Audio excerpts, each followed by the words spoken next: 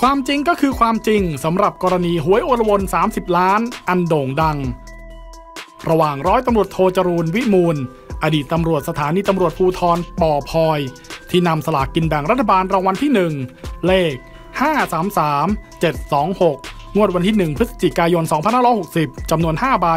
รวมมูลค่ารางวัล 30 ล้านบาท ไปขึ้นเงินรางวัล กับปรีชาใคร่ครวญครูโรงเรียนเทพมงคลรังสี ที่แจ้งความต่อสถานีตำรวจภูธรเมืองกาญจนบุรี อ้างสลากกินแบ่งเลขดังกล่าวหายไป โดยอ้างตนเป็นเจ้าของสลากซื้อมาจากเจ๊บ้าบินแล้วหล่นหาย ที่ตลาดเรดซิตี้จังหวัดกาญจนบุรี เมื่อ 31 ตุลาคม 2560 จนมีการยื่นฟ้องร้องต่อศาลจังหวัดกาญจนบุรี ในความผิดฐานยักยอกทรัพย์ รับของโจร และกลายเป็นเรื่องราวใหญ่โตถึงขั้นระดับกองปราบปรามต้องมาทำคดี ต่อมา 4 มิถุนายน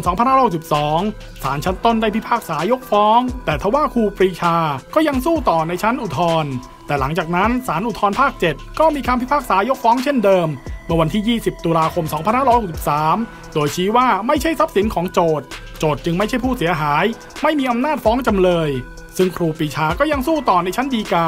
จนในที่สุดศาลฎีกาได้พิพากษายืนยกฟ้องในข้อหาดังกล่าว เมื่อวันที่ 7 มิถุนายน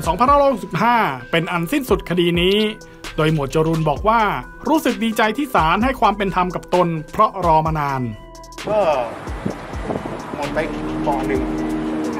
หมดไปกองหนึ่งนะอีกกองหนึงยังไม่หมดนี่เลยนะกองหนึ่งก็ก็ต้องดูว่าทนายโจ้จะดำเนินการยังไงต่อเดี๋ยวต้องปรึกษากันก่อนตั้งแต่มีเรื่องมีราวมาเนี่ยผมยังตั้งปฏิฐานไว้ว่านะตั้งแต่แรกเลยว่า ถ้ายังยังไม่สิ้นสุดเนี่ยผมยังไม่ซื้อ ผมก็จะถือปฏิบัติมาจนถึงถึงปัจจุบันเนี่ยผมก็ยังไม่ซื้อเลยเหมือนกันที่มันแต่หลังจากนี้ไปแล้วเนี่ยมันมันสิ้นสุดแล้วนะก็อ่าก็ยังยัง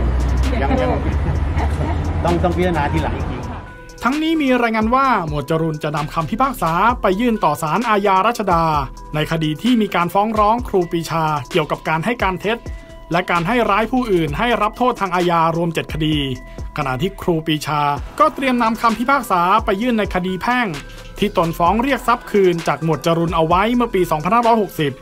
เพราะขณะนี้ในคำพิพากษา